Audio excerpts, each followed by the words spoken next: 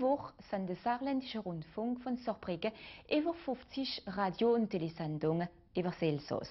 Das ist eine riesige Publicität für die Gegend. Eine Familie, sagt der Tommy Ungerer. Seine Kulturbank hat das Programm organisiert, zusammengestellt.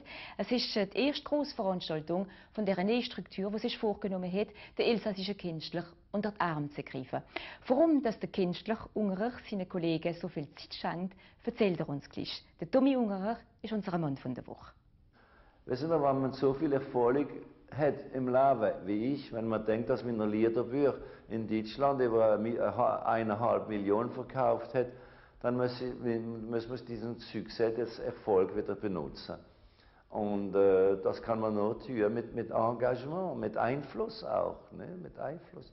Ich bin parteilos, äh, ich, bin, äh, ich bin total parteilos. Meine Partei ist, ist, ist Menschheit, ist Europa und, und äh, und äh, l'amitié entre les peuples et le peuple. Ich bin ein Volkskünstler. Wenn ihr weit vom Elsass sind, wie sehen das Elsass? Von weitem ist es größer. Wenn ich wieder hier heimkomme, wird es kleiner. Aber ich bin ein Pendler. Ne? Ich, äh, mein, mein Wohnsitz ist in Irland. Ich lebe in Irland, aber ich komme ab und zu hier im Elsass. Aber dann geht's los. Ne?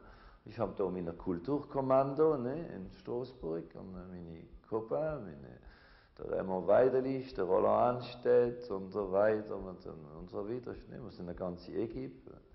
Professor Rossignol von Art Deco, also dazu nur ein paar Namen, wir sind eine ganze Equipe. Ne?